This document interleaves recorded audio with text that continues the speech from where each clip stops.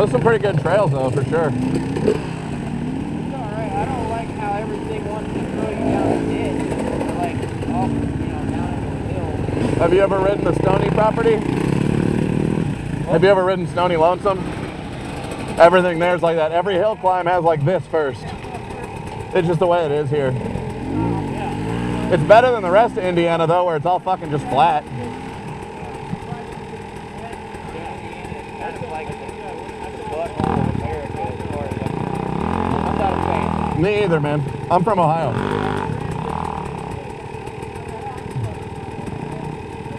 Sherry, I got like